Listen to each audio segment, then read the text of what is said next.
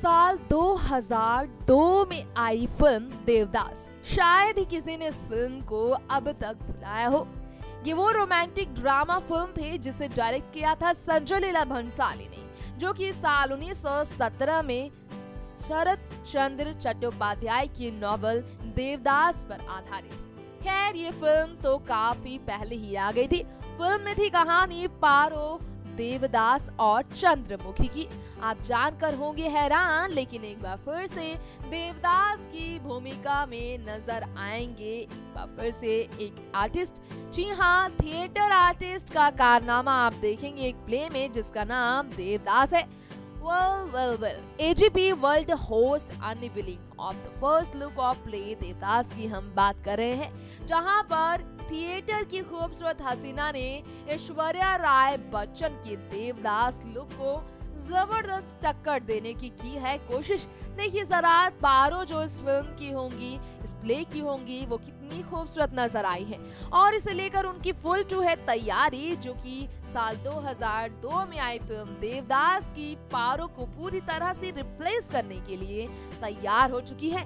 क्या ऐश्वर्या राय बच्चन के बड़ा झटका होगा ये? कि उन्हीं की तरह पारो के रोल में इस बार ये नई हसीना चर्चा बटोरने वाली है। देखना होगा दिलचस्प। फ़िलहाल सुनते हैं इस बारे में आर्टिस्ट का क्या कहना है। देवदास प्ले के टीम का क्या कहना है? कैमरा भी लुकिंग है। Centre Hindi English so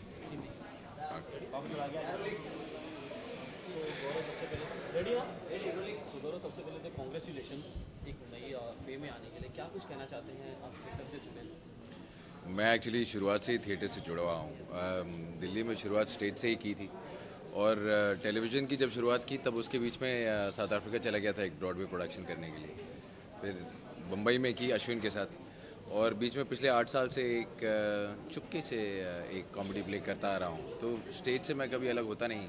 मुझे मेरी बैटरी का चार्जर लगता है वो कि जब भी मुझे अपनी एक्टिंग बैटरी को रिचार्ज करना होता है तो मैं स्टेज के पास चला जाता हूँ। और आई uh, थिंक एक एक अच्छे वे में एक नई शुरुआत करने का मौका मिलता है स्टेज पे एक एक्टर को। और uh, वो सारी बातें पीछे छूट गई बिकॉज़ इस शो में तो फिर uh, शुरुआत नहीं हम पिछले जन्मों में चले गए हैं वापस से वापस से शुरू करने के लिए इस कहानी को। तो मैं सिर्फ़ इतना कहना चाहता हूँ कि ये जितने पैशन से बनाया जा रहा है और जिस पैशन से आपको दिखाया जाएगा आई एम श्योर वो आपके पास रहेगा। uh, वो नशा वो कहानी वो वो संगीत वो नृत्य जो जो मौसीकी है जो जो जो क्रेजीनेस है देवदास की वो आपके साथ रहेगी। um, मेरे पास मैं बोलता रहूँगा अभी आप लेडीज़ से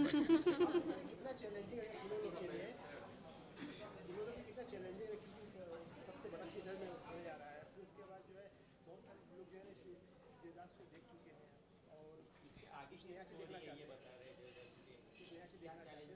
लेडीज़ लेडीज़ um, हमने बहुत इन्जॉय किया है uh, हमने बहुत इन्जॉय किया है ये प्ले रिहर्स करते टाइम आई थिंक सबसे ज़्यादा challenging role of course Devdas का है क्योंकि um, um, उन्हें इतने इमोशनल वे में डील करना पड़ रहा है हर एक दिन. मतलब he has to be in the same trauma and everything you know so i think emotionally it's been extremely draining for actually both devdas and paro um, and जिस तरीके से um, मॉडेस्ट प्ले करेगी अच्छा मतलब हम बीच में हम बीच में टोके नहीं चंद्रमुखी का भी कहा हाँ वो आप बोल दो चंद्रमुखी नहीं नहीं पर ये कहानी चंद्रमुखी से शुरू होती है और एक वजह से शुरू होती है अ, और हमारी कहानी में ओरिजिनल देवदास में अगर आपको हमेशा ये ये शिकायत हो जो मुझे रही है कि देवदास पारो का रिश्ता दिखता है और देवदास चंद्रमुखी का रिश्ता बड़ा अधूरा सा लगता है अम, समझ में नहीं आता कि क्या है। इसमें आपकी ऐसी कोई शंका नहीं रही। पर मुझे ये लग रहा है कि इस वाली कहानी में आपको देवदास की कहानी से जितनी खलिशें होती हैं जैसे एक पहलू इन्होंने कहा या एक पारो का क्या हुआ या आप जब देवदास देखने आते हैं तो आपको पता होता है कि एक दर्द लेके आपको घर जाना है ये सारी खलिशें मिटाई दी है हमारे डायरेक्टर ने। आई एम श्योर आप एक सुलेस और एक एक अपने ही तरीके का एक पीस एक नया पहलू लेकर घर जाएँगे और इतना सुंदर म्यूज़िक लेकर घर जाएँगे कि वो आपके जहन से छूटेगा नहीं। हाँ तो हमारा So- म्यूज़िक एक अलग एल्बम के रूप में आप लोगों के सामने आएगा उसे ज़रूर सुनिएगा।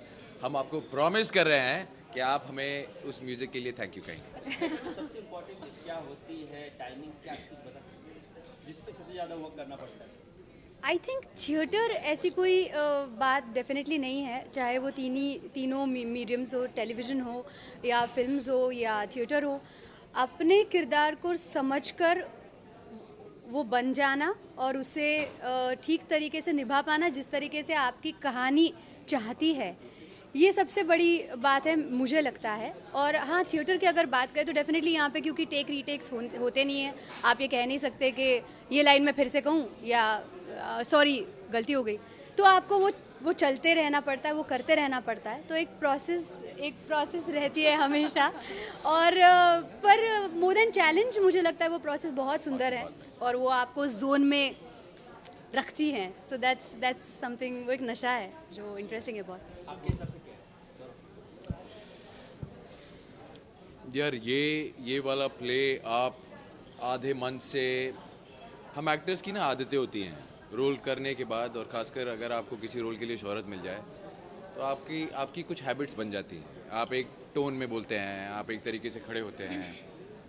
इस प्ले में वो सब भूलना पड़ा। अम, ये सचमुच एक नई शुरुआत वाली बात है जहाँ पे आपको ये भूलना पड़ता है कि आप एक एक्टर हैं और आपको अपने बचपन में जाना पड़ेगा और आपको अपने अंदर सोल में ढूंढना पड़ेगा उन रिश्तों के बारे में आपकी क्या फीलिंग्स हैं। और ये उस पागलपंती के बिना नहीं हो सकता। सेट पर एक मज़ाक है कि ये पीपी प्रोडक्शंस हैं पागलपंती प्रोडक्शंस क्योंकि ये उस पागलपंती के बिना नहीं हो सकता।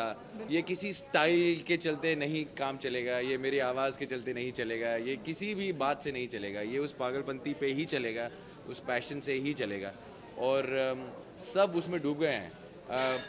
अब दो चार महीने के बाद अगर आपको खबर आए कि हम सब किसी ना किसी साइकेट्रिक हॉस्पिटल में हैं तो ज़्यादा हैरान मत होइएगा सो गौरव अगर बात की जाए तो बॉलीवुड में भी दो देवदास हैं जिन्होंने फिल्मी पर्दे पर देवदास बन तो आपकी फेवरेट कौन है शाहरुख और नहीं उनका कंपैरिजन करना बड़ा गलत होगा क्योंकि एक 1955 की फ़िल्म है और एक 2000 कुछ की फ़िल्म है। और जो बिमल रॉय ने ब्लैक एंड वाइट में रिक्रिएट किया कलकत्ता उस दौर को दिखाया जो अमीरी गरीबी दिखाई। और जो भंसाली साहब करते हैं वो ज़मीन आसमान का फ़र्क है। आप कंपेयर नहीं कर पाएँगे उनको। मेरी पर्सनल प्रेफरेंस बिमल रॉय वाली है। पर वो मैं एक्टर के पॉइंट ऑफ़ व्यू से नहीं कह रहा हूँ मैं कहानी के पॉइंट ऑफ़ व्यू से कह रहा हूँ। मुझे उसमें ज़्यादा ट्रेजिडी महसूस होती है। और कहीं मेरी शुरुआत वहाँ से मैंने सोचा था कि मैं शुरुआत वहाँ से करूँगा और फिर पहले दिन ही सर ने मुझे दो थप्पड़ मारे और कहा कि खबरदार जो तुमने कोई रेफरेंस रखा। और हम यू नो वही केजी में पहुँच गए वापस। तो अब हम अभी क्लास फोर में हैं। और अगले अगले एक महीने में होपफुली ग्रेजुएशन तक पहुँच रहे होंगे जब तक आप नहीं सा मैं कह रहा हूँ जब तक लोग हमको देखने आए तब तक होपफुली ग्रेजुएशन तक पहुँच रहे गौरव थोड़ा रिस्क भी लगता है कि आज लोग थिएटर्स को उतना इंटरेस्ट नहीं देते जितना फीचर फ़िल्मों को देते हैं। नहीं, ये बिल्कुल गलत है। ये बिल्कुल गलत है बिकॉज़ थिएटर गोइंग ऑडियंस जो हैं वो बहुत सारी है एंड पीपल लव वॉचिंग जो लाइव का जो मज़ा है the passion the the energy in the live audience is totally different than in the films तो नहीं ये बिल्कुल गलत पॉइंट है। लोग इनफैक्ट इनफैक्ट मुझे ये लग रहा है और मैं ये बहुत ही स्ट्रांगली कह पाऊँगी क्योंकि मैं बहुत ज़्यादा थिएटर कर रही हूँ कुछ पिछले पाँच सालों से।